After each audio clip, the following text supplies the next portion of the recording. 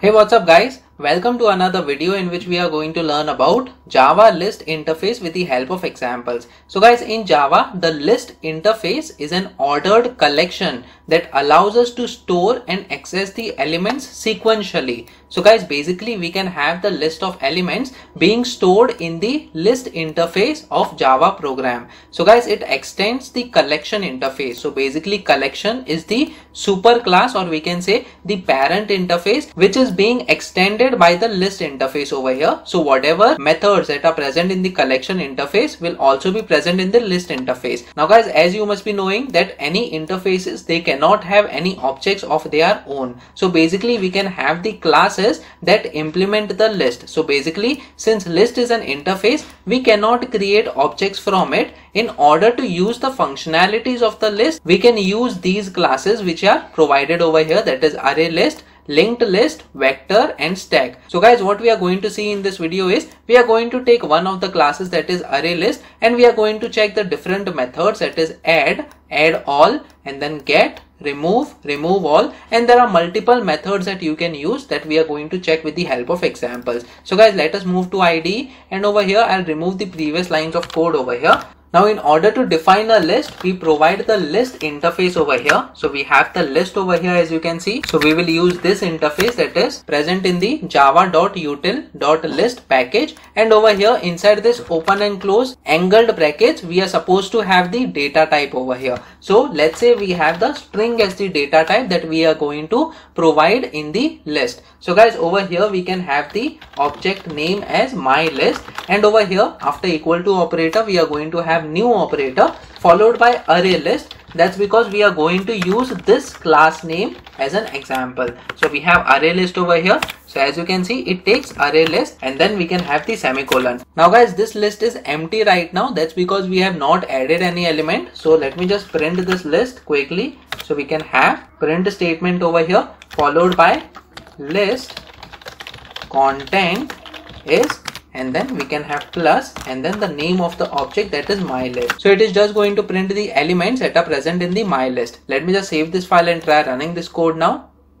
So as you can see list content is and then it is showing empty open and close brackets. That's because we have not added anything inside this list. Now guys what is the way in order to add the elements inside the list? We have the add method. So over here it says adds an element to a list. So over here what we are supposed to do is we can have my list object over here. So we use this object followed by dot and then followed by add method. So as you can see, we are having different add methods over here. One is just taking the string. The second is taking one index that is the first parameter and the second parameter will be the element. So we can also add the element in between the list as well. So that also we will check with the help of example. The very first thing what I am going to do is add a simple string that is programming.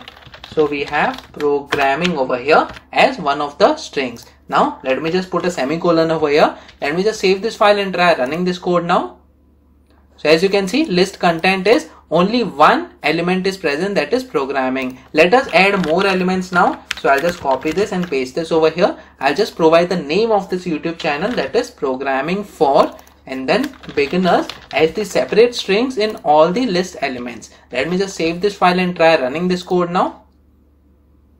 So as you can see list content is the very first element is programming that we added over here then for and then beginners. So as you can notice over here, it is a sequence of elements of this particular data type that we have provided over here. We can also have other data types such as integers or double or else we can also have some custom class that is user defined class and have its objects being added to this particular list object that we define. Guys, you must have noticed that whenever we are adding the elements, it is getting added to the end of the list. So that is the very first element is programming then we have for and then we have beginners. So let's say we want to add youtube over here after for element. So after for and before beginners we want to add the youtube.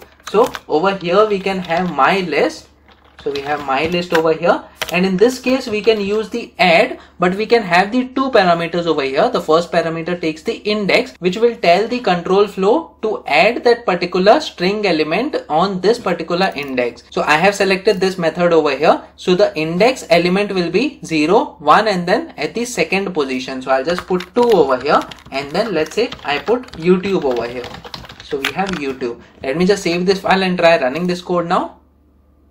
So as you can see programming for and then YouTube is inserted over here when we created mylist.add with this two parameter wherein the index was 2 over here and the element was YouTube over here. And guys in this way you can use the add methods in order to add the elements. Now guys let us move to other method. We have add all which will help us in order to add all the elements in a particular list to another list. So let's say we have another list over here. So I'll just copy this line of code over here that is initial initializing the list and over here I will have my list 1 and then guys what we will do is we will use this my list 1 over here. That is my list 1 dot. We will use add all. So this add all it will take another collection. So this collection can be this particular list that is my list. So i'll just copy this and paste this over here. And then we have a semicolon.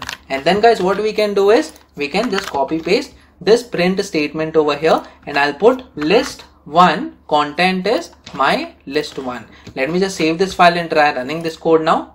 So both should have the same content. As you can see list 1 content is programming for YouTube and then beginners. So guys what happened over here is all the elements from this my list was copied to my list 1 using this add all method. And in this way you can easily copy all the elements of a particular list to another list as well using this add all method. Now let us move to another method that is get. So this helps to randomly access elements from the list. So basically guys if you don't want to read all the elements one by one you can use the get method as well. So what I'm going to do is I'll just remove this line of code over here and I will change the string to let's say we have second element. So we have second element of list is so I want to get the second element of the list. So this is the first element which is at the index 0 and this is the second element that is at the index 1. So we want the element that is present at the index 1. So what we can do over here is my list dot we can use the get method and get method will take one parameter that is the index. So I'll just select this and I'll provide the index as 1 since it is zeroth based index. So I'll just save this file and try running this code now. So as you can see second element of list is 4. In similar way we can get the other elements as well. So let's say I want to get the third element which will correspond to this beginners element over here. Let me just save this file and try running this code now. So as you can see second element of list is beginners over here. Now let us move to another method. Let's say we have remove. So it removes an element from the list. So basically let's say I want to remove this YouTube element over here. So what I will do is first I have added this. Now I want to remove. So my list. So we can have my list dot remove over here and then it can either use the index or else it can also use the object as well so i'll use the index and the index of youtube is 2 over here so i'll just provide 2 and then i'll just change this line over here as list content is since I want the entire list to be printed so that we will come to know that a particular element has been removed from the list. So I'll just change it back to my list over here. Let me just save this file now. I have forgotten a semicolon over here. Let me just save this file and try running this code. So as you can see list content is programming for beginners and then YouTube was added but now YouTube is removed. So guys in order to confirm whether actually YouTube was added or not I'll just remove this line of code and I'll paste this over here so that we will first copy the content of the entire list and then we will remove one element and let's say we want to again print the entire list over here second time. So I'll just save this file and try running this code.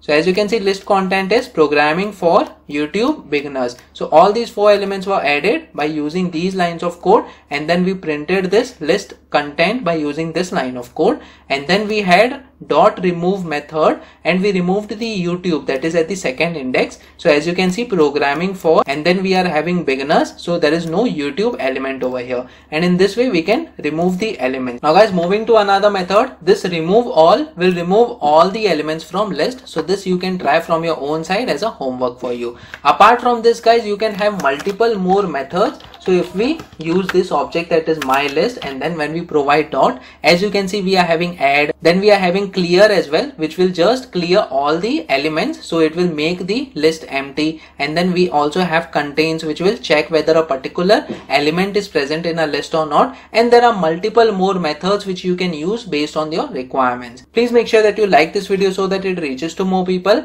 and subscribe to this channel so that you get the notifications on upcoming videos as well. The next video that we are going to talk about is Java array list versus array with the help of examples. So stay tuned.